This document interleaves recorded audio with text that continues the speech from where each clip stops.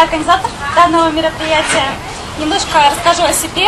Я с октября 2013 года являюсь сыроедом стопроцентным, без срыва.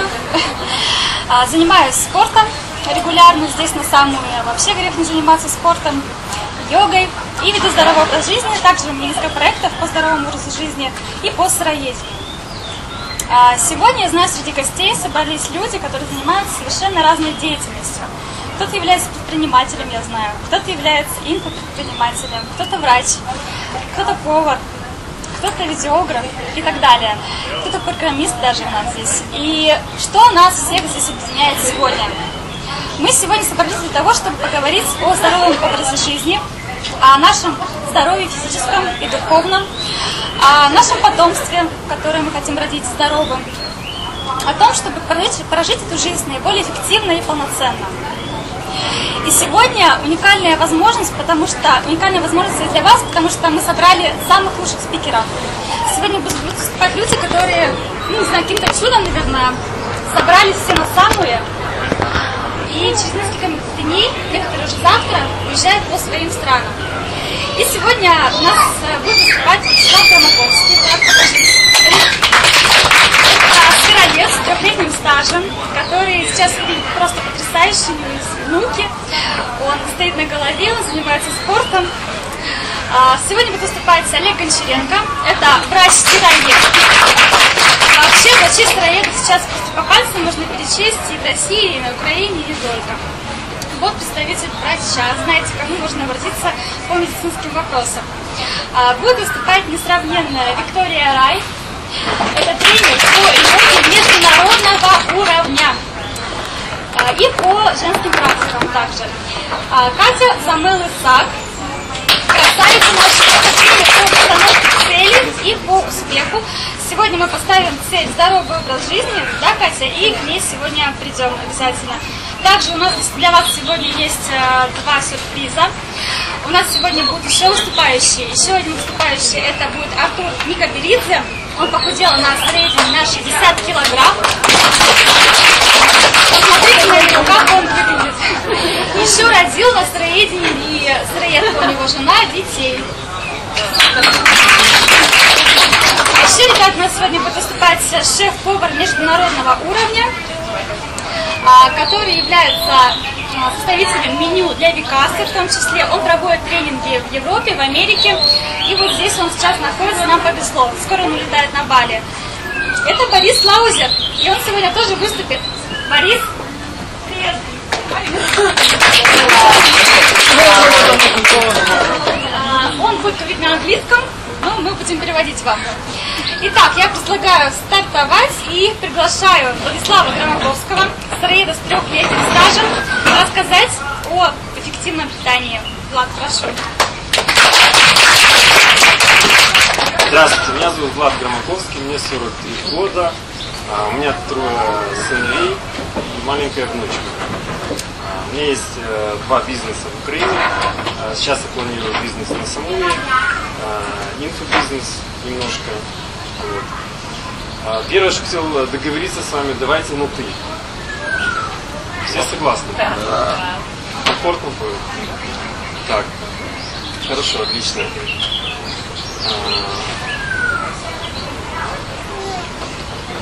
Как вообще э, наша обстановка и встреча? Как вам нравится? Только было в сторону, потому что смотреть, да, влиять. Ну, у нас не получалось, потому что камеры ничего не видят. Поэтому мы потом будем наслаждаться в конце вкусняшками, может быть, вкусняшки очень классные. И видом на наш залив. Вот. А, раз ты сюда пришел, а, ты уже молодец. Вот. а, И а, ты не стоишь на месте, развиваешься, тебя интересует образ жизни здоровый, да? А, Давайте поблагодарим себя и поаплодируем. Второе, хотел поблагодарить э, замечательного нашего организатора Такира. Несколько дней буквально она организовала такое мероприятие, это как бы очень, очень классный такой рыболов боков. Вот. А также хотел поблагодарить и поаплодировать э, Викасе то, что она, они согласились любезно предоставили нам и хозяевам Пикассо, Вадим и Константин, и сидит там, давайте им поаплодируем.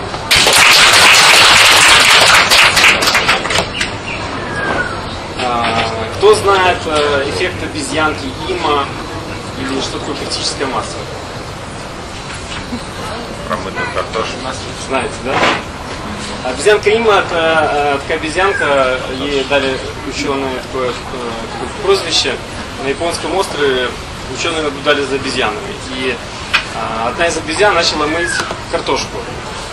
Вот есть как сладкая картошка, как она называется. Да, да, да. И все кушали грязную картошку, а она почему-то начала кушать э, ее чистую. Потом она начала обучать маленьких обезьянок, и потом со временем э, резко все на острове обезьяны начали мыть э, картошку. Когда э, количество обезьян превысило критическую массу, вот, все начали мыть картошку. Самое удивительное, что на соседних островах тоже обезьяны начали мыть картошку. То есть они не видели этих обезьян друг друга. Вот.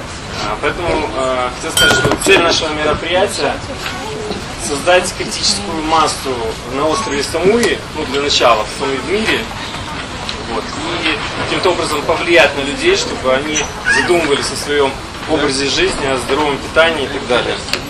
Вот. А критическая масса это э, квадратный корень из э, числа популяции жителей или там обезьян или людей. Как вы думаете, зачем здоровье? Долго жить? Долго жить. Да, да, да. Ну, а, первое это достижение цели. Нужна энергия, да, а, наслаждаться жизнью, получать кайф от жизни, надо быть абсолютно здоровым, чувствовать кайф. Анекдот расскажу вам. А, Так как мы из Одессы, у нас много евреев, и есть еврейский анекдот про Рабиновича. Рабинович пришел к Ребе и говорит, Ребе, говорит, а можно курить э, в субботу? Нет, ты что, Рабинович, как можно курить в субботу? Никто не курит в субботу, это святой день. А, говорит, да, Рэбе, говорит, а ты же куришь в субботу? Говорит, да, но я ни у кого не спрашиваю. Вот, поэтому, ну, вопрос, э, вопрос о здоровье, э, возможно ли э, обрести стопроцентное здоровье? Ну, для вас вопрос.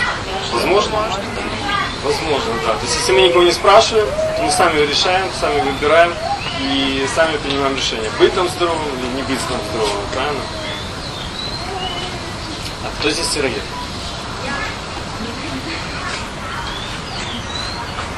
Отлично. Большинство. А кто принял решение о переходе на сыроедение? В процессе, в переходе. Так. А кто принял решение ничего не менять и жить как большинство людей? Их нет. Все остальные воздержали.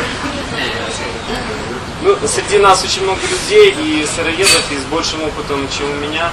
Э, И э, я ни, никому ничего не буду как бы учить. Э, Информации полно сейчас в интернете, в открытом доступе очень много. Кому надо будет, можете в личку написать мне. И там и книжки, и аудиокнижки, такие книжки, это не вопрос. Поэтому немножко поделюсь своим опытом. А, И ну, то есть то, что у меня было в процессе перехода на сыроедение и так далее. А какие факторы влияют на здоровье, кто знает? То есть мы говорим, что нам нужно здоровье, да? Для того, чтобы достигать цели, наслаждаться жизнью. А какие факторы влияют на здоровье? Экология. Питание. Образ жизни. Сон, отдых, да? Образ жизни. Что такое образ жизни? Туда входит А да, что такое? Набор сон, привычек. питание, а, Да. занятия какие-то. Порядок дня. Ну, э, контрольный пакет акций – это образ жизни, да? То есть образ жизни влияет где-то на 55% э, на наше здоровье. Туда входит что? Ну, как бы я внес туда питание, вода, воздух, э, психосоматику, физические нагрузки. Да? То есть 15% еще это экология, гигиена, да, это очень важный момент. А 15% это генотип, да, то есть то, что нам природой заложено, от родителей досталось, это генотип. Э, 10% важный момент э, качественное медицинское обслуживание. Тоже очень важный момент, я позже расскажу почему. И 5% отдых сон. Ну, это я как бы условно разделил это сам для себя, ну, как бы ис- исходя из своих наблюдений. А как вы думаете, на что мы можем повлиять? Какие факторы? На все. На все, кроме генома. Генетики. Да, кроме На генетики. все факторы, да, включая генотип, э, тоже сейчас ну, по порядку давайте. Здоровый образ жизни.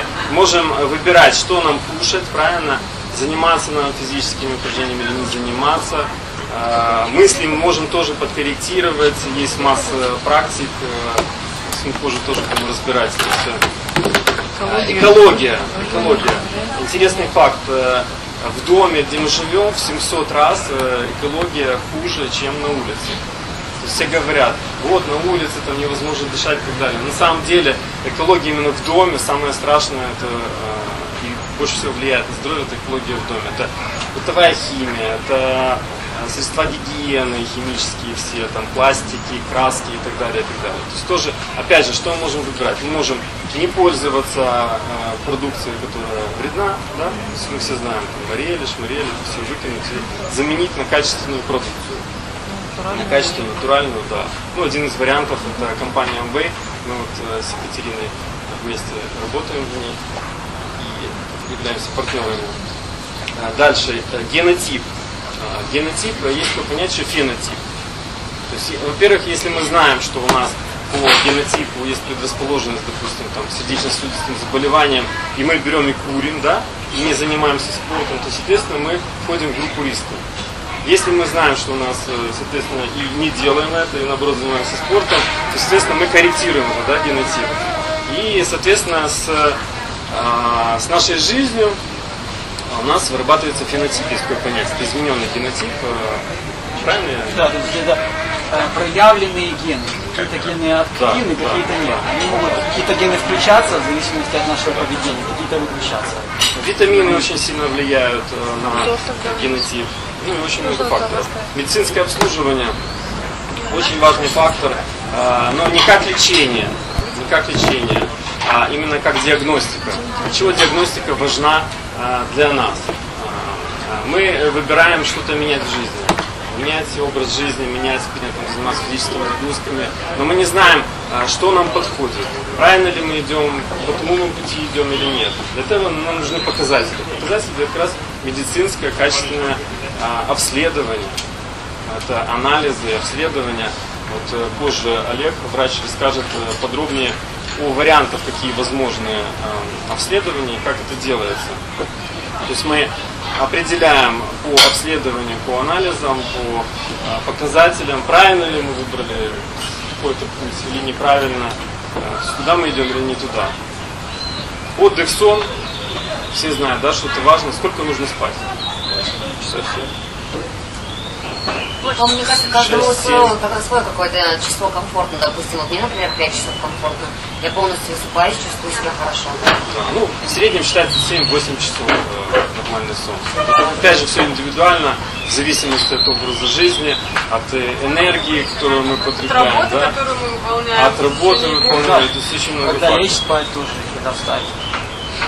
Да. Рано встать. Ну и вопрос энергии, энергетики, где мы ее берем, а, черпается, с каких источников, у нас Артур расскажет более подробно. Вот.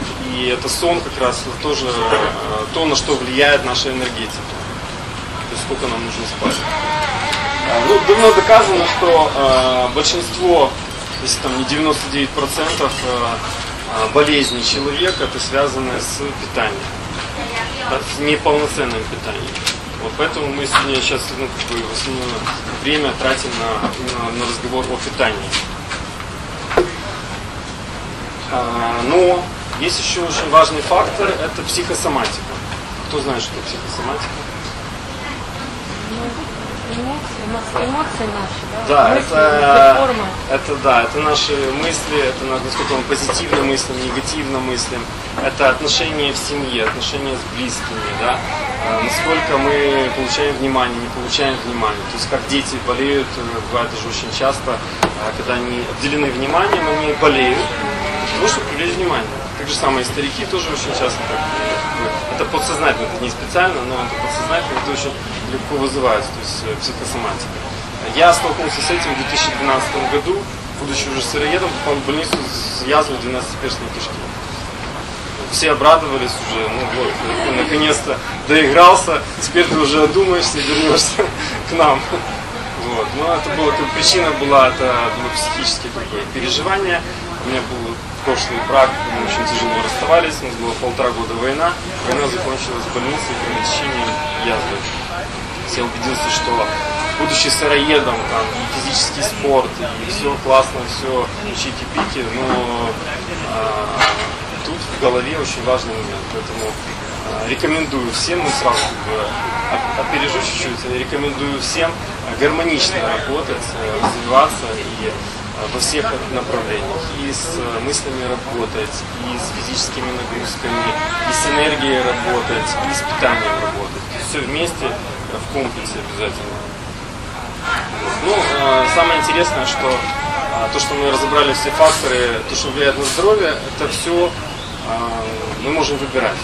Мы можем выбирать, как нам, если мы никак не можем повлиять, например, генотип, да, некоторые моменты мы не можем никак повлиять, но мы можем э, поменять отношение к этому. Правильно? То есть мы прямо или косвенно в любом случае меняем на любые факторы, которые влияют на нас, на нашу жизнь, на. Вот. э, Есть э, два варианта. Играем в игру болезни и лечения, да, это те, кто ходит к докторам, либо к докторам, вот, и лечат болезни, то есть уже следствие тех причин, которые вызывают эти болезни. Либо играем в здоровье. Вот. Ну, я выбрал здоровье в 2009 году. А, у меня умер папа от э, рака, Э, был тяжело болел и умер. И в этом году я принял решение для себя изменить свою жизнь, ну и максимально повлиять на жизнь других, хотя бы близких, но сейчас уже как-то влияем уже на больше, расширяем круги влияния. Вот. Игра здоровья. Что нужно для того, чтобы играть в игру? Правила. Какие правила игры в здоровье? Кто знает? Ну, есть законы природы, да? То есть если мы э, как бы творение природы, да, человек, э, то есть э, законы природы. Как э, сказал Гиппократ, лечит болезни врач, но излечивает природа. Вот. Э, Какие законы природы мы знаем? Кто знает? Природа скоротечна, меняется. Есть свойственно начало, рассвет, конец. Да, есть природные, да, такие циклы, да, Биоритмы. цикличность и биоритмы, да. То есть мы так же самое, мы засыпаем, просыпаемся, там, очищаемся, там, ну, много есть э, разных вариантов биоритма. Что еще? Видовое питание. Да, то есть каждому то, что природа создала, миллионы лет создавала, да, у каждого э, животного либо живого существа на Земле есть какое-то видовое питание, которое было предназначено изначально природой. Да? Что еще? Взаимосвязь всех живых существ. Да. Конечно. Э, Мы тоже создавались миллионы лет, и все гармонично, все должно э, вместе быть. Закон любви есть такой еще. Знаете? То есть мы начинаем с чего? С любви. Любви к себе, прежде всего. Если нет любви к себе, если человеку абсолютно наплевать на себя, то говорить о здоровье тоже как бы это ну, бессмысленно. То есть первое, надо начинать принятие себя и любовь к себе. А, закон постоянного роста и развития.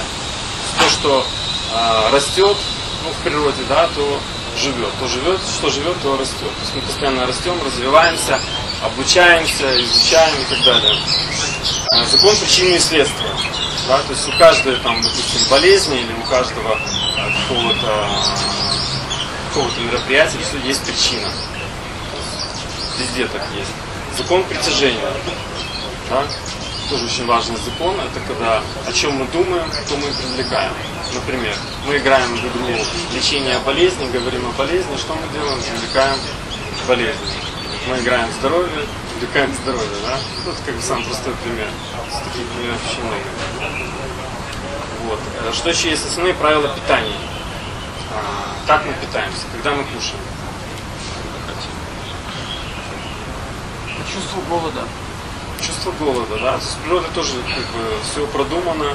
Когда мы хотим кушать, а не когда там накрытый стол, или мы увидели вкусняшки, или там время завтракать, время обеда, да. Есть голод, мы пришли, покушали. А, какие еще правила питания? Питание. Да. Жизнь. Питание. Жизни, живая еда, да, то есть то, что живое, это жизнь, то, что мертвое, это смерть. То есть мы кушаем жизнь, живем, расцветаем, кушаем смерть. Техногенная еда, да. Ну, да, даже по питанию техногенная еда. То есть то, что искусственно сделано, это не по природе, это изначально как бы яд и не предназначено для питания человека. То есть это, ну, рекомендация сразу исключить такие моменты, все то, что сделано техногенно, упаковка, чипсы, шмипсы, там все это синтетическое. А, ну, кушать в меру, да? То есть ну так, чтобы уж там выносить ее за стола. В. Ну, Мера во всем должна быть. Какая-то мера середина, да? А, еще а, 7-9 порций овощей и фруктов в день. Это рекомендация международная э, жирного здравоохранения. Да? Вот, то есть э, те, кто не сыроеды, сыроеды больше съедают, я знаю. Вот те, кто не сыроеды, это им рекомендация. А, 7-9 порций овощей и фруктов в день. Почему? А порция 20. Какого размера? Порция, порция это То, то, что что, в ладошку? э, то, что вмещается в ладошку, это порция. А, почему? А, Потому что наша есть такая, есть такая штука микрофлора. Кто знает, что такое микрофлора? Бактерии. Ты знаешь. Бактерии. Да, есть бактерии такие. Есть полезные, есть неполезные и так далее. Есть патогенная флора. Что мы кушаем, мы какие-то определенные бактерии кормим. То есть мы не кормим свое тело, а именно эти А бактерии. чем мы их кормим? А мы кормим их продуктами питания, которые мы поглощаем. То есть, например, там спаржа и так далее, и так далее. Она поглощается определенным видом бактерий, которые полезны для нашего организма. Что-то другое поглощается другим видом бактерий, которые могут нам наварить. Поаплодировать. Я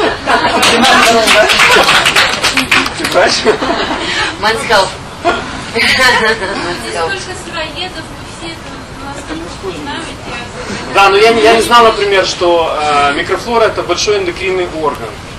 Это ну, один из самых больших. Да, печень большой орган, и микрофлора тоже большой орган. Весом 2,5-3 килограмма. Здоровая микрофлора. скорее э, такая полностью кишечная. Да, но микрофлора это самая большая масса, она занимает ЖКХ.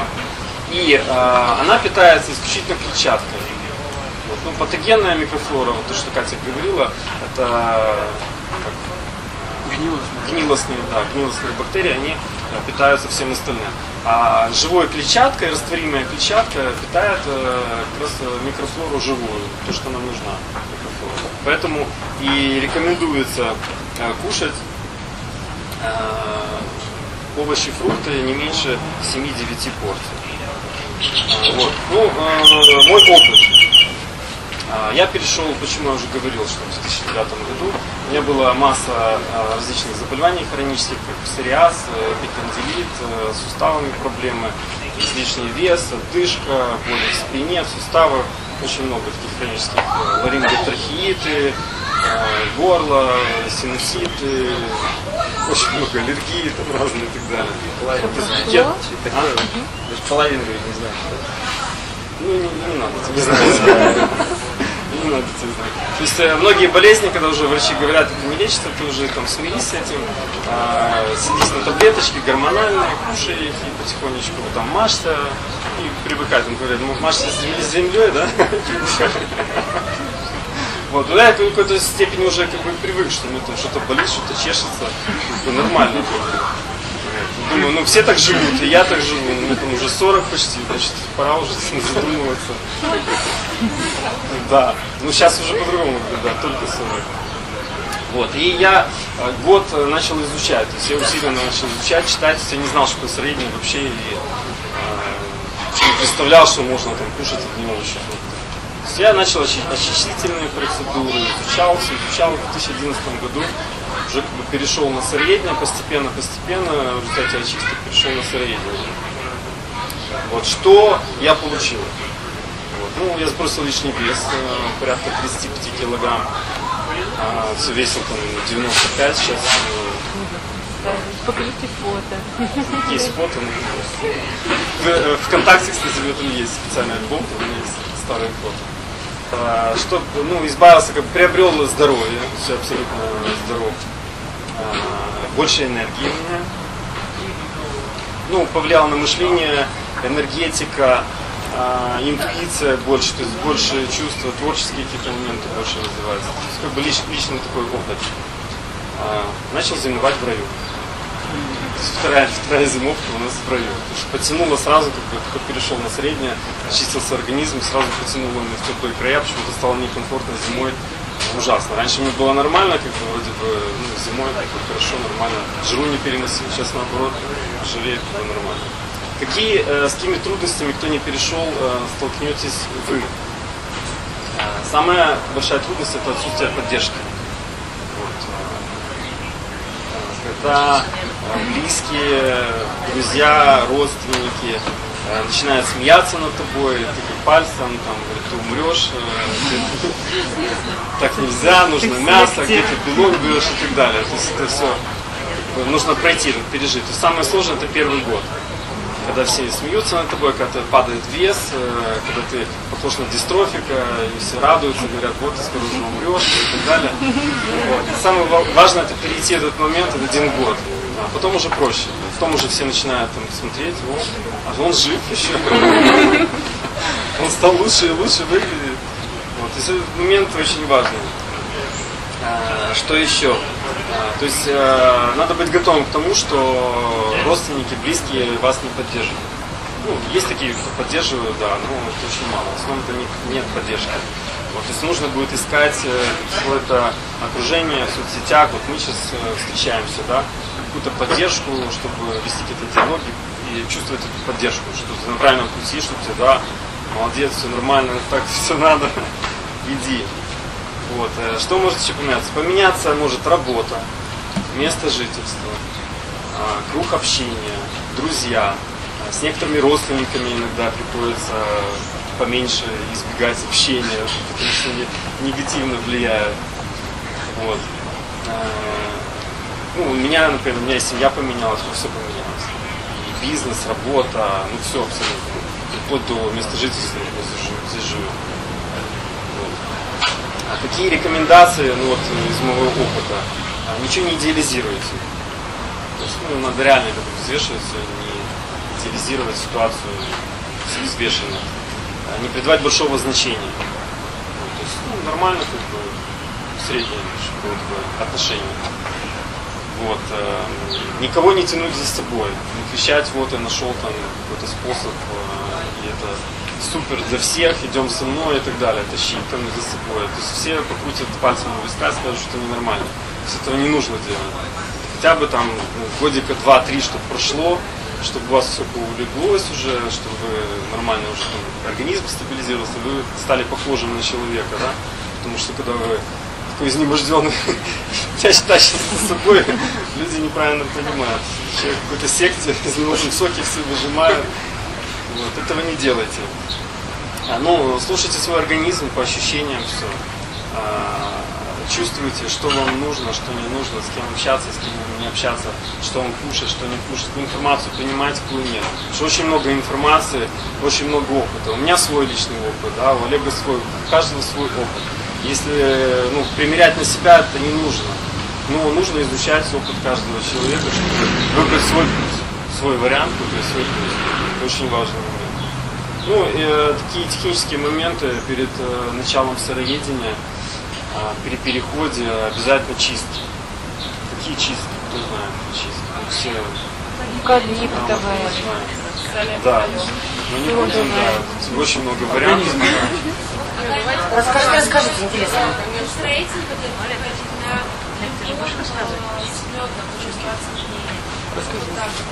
Подойти на любимого с медом уже 20 дней. Вот так вот считаю. Это тоже свой вариант чистки, их очень много, это нужно пробовать, э, какой вам лично подойдет. То есть у меня была касторка, сейчас вот я рекомендую глауберовую соль, то есть разные варианты. Одним касторка никак не идет.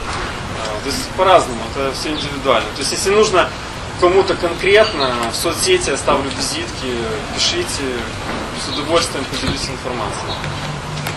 Очистка ЖКХ в первую очередь, очистка печени, антипаразитарная программа. Это очень важный момент. Вот. Что вы так улыбаетесь? Знаете, да? Это ЖКХ просто. ЖКТ. ЖКТ. Ж, ЖКТ, ЖКТ. Какая же пара То есть все чисто. Харчування на Україні. Да. Харчування. А, Желудочно-кишечный тракт. Вот, как ЖКТ. Вот, э, что еще рекомендую? В момент перехода очень сильная детоксикация, ну, у каждого тоже индивидуально. Если молодые люди переходят, это очень вообще поражает э, молодым людям, которые переходят, у них все легче проходит, у них не такая зашинкованность организма, все типа, нормально проходит. У более людей уже в возрасте, кто уже накопил там шлаки, вот Артур поделится, да, сколько он накопил. Потом избавляться от них Надо никому моих шлаков не надо. поделиться опытом. Да. То есть, э, что рекомендую э, в такие вот моменты, очень сильно не хватает э, питания, питательных веществ в организме. А дополнительные БАДы, витамины. Ну, как бы рекомен- рекомендация моя личная. То есть я что потреблял? Это мультивитамин, а, омега-3 и кальций магний. Вот все эти основные моменты, то, что я пропивал. Очень важно обращать внимание, чтобы это были живые витамины. Живых витаминов не так много, то, что в аптеке продается в основном синтетика. Вот, э, мы используем э, компанию Nutrilite продукция, это 75 лет на рынке, и они живые, у них своя технология, именно с живых растений делают живые витамины. Дальше. Э, Очень важна дисциплина, самодисциплина. Самодисциплина. То есть раньше я думал, что дисциплина это зависимость, это ну, бы очень плохо. То Надо заставлять себя там что-то делать и так далее. Сейчас я понял, что дисциплина это путь к свободе, на самом деле. Ну, это для меня лично, опять же, у свой, э, свой опыт и вывод, но очень важна дисциплина. То есть, если мы делаем что-то, да, то есть мы должны быть дисциплинированы, каждый день там что-то делаем, зарядку, там, если очистку решили, приняли решение чистку, значит чистку делаем. А, Какие еще рекомендации? Фиксируйте результаты, положительные результаты. То есть э, маленькие даже достижения фиксируйте на бумаге. Вы что-то достигли, что-то сделали, там, что-то там заменили, там, сахар, допустим, на мед, это уже достижение фиксируется. А, Никогда ни, ни от чего не отказывайте. То есть отказ это очень плохо. И ну, здесь мозг наш не понимает, когда мы чего-то ему отказываем. Меняйте. Замещайте, заменяйте, да. Ищите варианты, альтернативные варианты. Ну, последнее, что рекомендую, э, почитать книги какие. Вадим сделан то, что повлияло на меня и на мое сознание, переход. э, Живая кухня, да. Взлом техногенные системы, последняя книга, вот рекомендую, кто читал, почитайте. У меня есть аудиовариант, если надо будет. А Виктория Бутенко «12 шагов к сыроедению». Мне лично помогла, не знаю, Послушайте, почитайте, кто не читал. Наполеон Хилл «Законы победителей», Боду Шефер «Законы успеха» и Свияшу «Улыбнись, пока не поздно». Все эти книги рекомендую всем, кто не читал еще, прочитать обязательно. Вот. Ну, если все-таки, несмотря на все трудности, решили вы все-таки переходить, да, менять образ жизни, то что нужно сделать? Поставить цель. О постановке цели нам расскажет Екатерина сегодня. А о э, медицинской точке зрения, о диагностике нам сейчас расскажет Олег. Поприветствуем Олега.